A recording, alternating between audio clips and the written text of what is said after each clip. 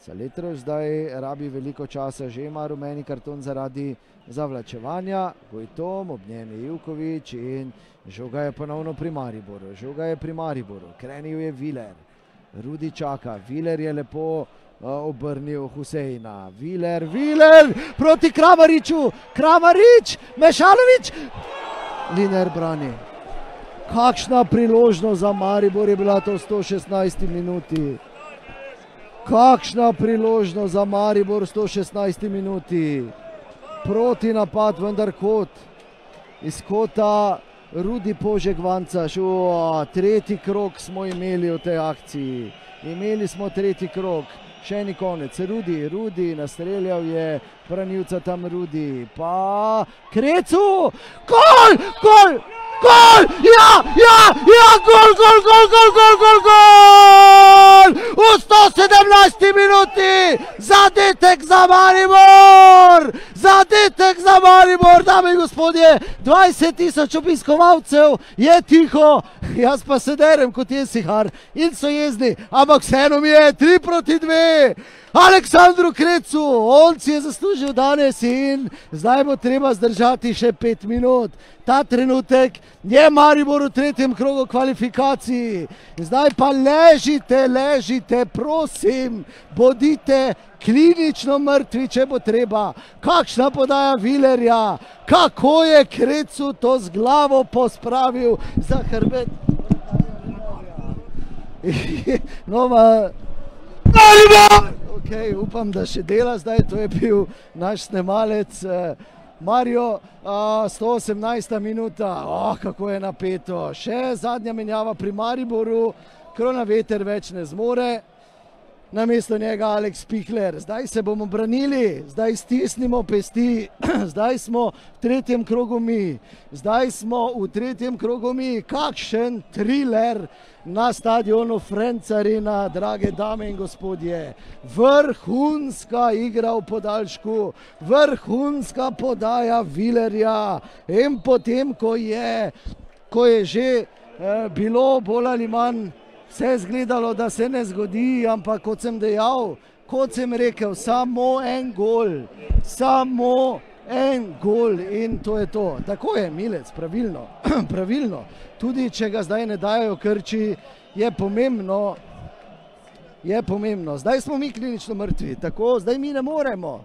Jasno, da ne. Zakaj ne?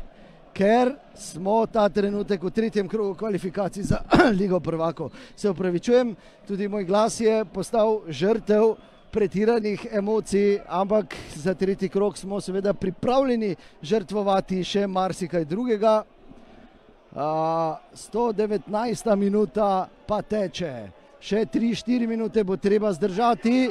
In kakšna obramba Piriča zdaj, kakšna obramba Piriča. Uh, nevarno je bilo, na tleh je obležal Peričič, mora bo ostati, mora bo ostati Peričič in nadaljevati. Ali še lahko Ajka tudi ogrozi, zdaj bodo letele podaje v kanski prostor Maribora, Milec izbija. Čim dlje v stran zdaj žogo. 119 minuta, še ena visoka podaja, bravo Viler, bravo Mitja Viler, bravo Rulo, super, super, dolga žoga, 120 minuta, drage dame in gospodje, če kdaj, zdaj stisnimo pesti, zdaj za naše pubece Krecu skače, nebeski skakač Aleksandru Krecu kaj, kakšno tekmo je danes odigral najpriljubljenejši Romun v Mariboru. Še enkrat v skoku Krecu, pa Adu, Adu, blokira Pihler, še blokira Pihler. Tako je, moti, moti Mešanovič, moti Mešanovič napad, zdaj je, uh, zdaj še Saletroš visoko podajo, skače Krecu, Krecu v skoku, poizkušajo nogometaši, aj kaj, bravo Hotič. Aut je za domače, 120 minuta, 3 proti 2. je za domače, tako je, pravilno je, pravilno. Tudi Kreco ima pravico, tudi Kreco ima pravico, če kdo potem on.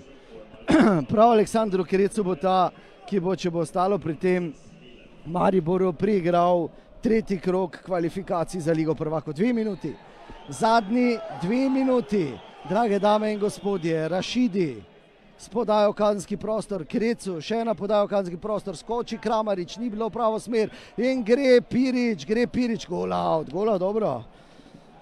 Še minuta in pol, samo minuta in pol. Kakšna drama, ni nam žal, verjamem, da ne.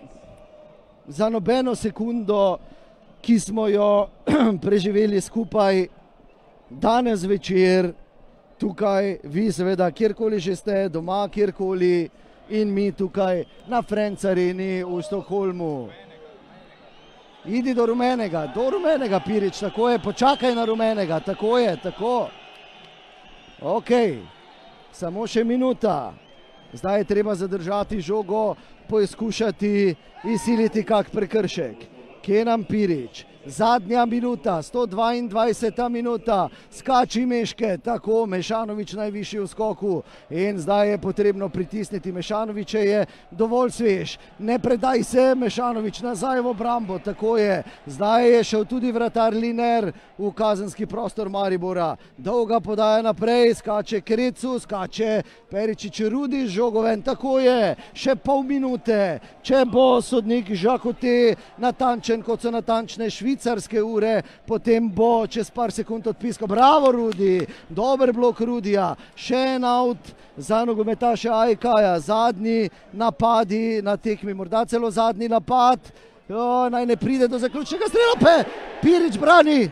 In Pirič brani, Pirič brani, drži žogo Pirič, drži žogo proti, proti napad Mešanoviča, vendar žo, žoga je pri mecu, zakaj tako hitro, iztekla se je 122, začela 123 minuta, vrtar Linerjo, kanske prostoru, bravo Pihler, izvrstna obramba Pihlerja, glej na uro, in ni še konec, še ena podaja. In izbija, izbija Rudi, požegacač, konec je, konec je, konec je, Maribor je spisal pravljico na Frencareni, Maribor je spisal pravljico na Frencareni, drage dame in gospodje, pa to je noro, to je neverjetno, kakšna tekma, kakšen večer preobratov, fenomenalno, to je naš Maribor, to je lahko le naš Maribor. V ljudski vrt, ne v ljudski vrt, hepan, v ljudskem vrtu bo težko pristalo letalo, ampak na letališče Edvarda Rusijana se vračamo predvidoma okoli pol tretji ure zjutraj, če le lahko pridi pozdraviti naše junake. Zdaj bom pa zaključil s temi čudovitimi prizori iz Frencarene, ko se veselijo nogometaši Maribora. To je sposoben samo Maribor. Hvala pubeci, hvala za še en nepozaben večer.